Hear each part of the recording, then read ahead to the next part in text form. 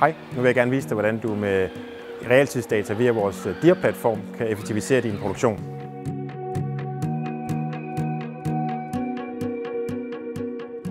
Det unikke ved DIR-platformen er, at vi har hardware, der kan samle data op fra alle dine enheder i din produktion. Blandt andet alle gængse typer af PLC'er og sensorer. Det er også muligt at benytte IO-Link. Data er viset realtid i en øh, webbrowser, og du kan se den på din computer, din tablet eller din telefon. På skærmen her kan vi se øh, vores linje, hvordan de kører. Vi kan se øh, vores sensor, der detekterer emnerne på linjen. Vi kan se, hvordan vores robot bliver belastet, hvilke alarmer der er i miljøet, og ikke mindst, hvor mange emner, der er produceret i dag. Webinterface er lavet, så du selv fuldstændig kan tilpasse, hvordan det skal se ud, alt efter hvad det er for nogle alarmer, du er, du gerne vil modtage, og hvilken rolle det er, du har i din produktion.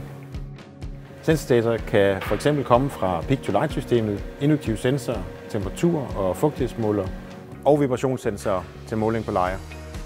Når du først har adgang til dine data, kan du følge OE i realtid. Så kan både ledelse og medarbejdere følge med i, at produktionen er så effektiv, som man ønsker. Du får digital stoptidsregistrering direkte i din webbrowser. DIA-platformen giver let adgang til alle dit produktionsdata, så både medarbejdere og ledelse kan optimere.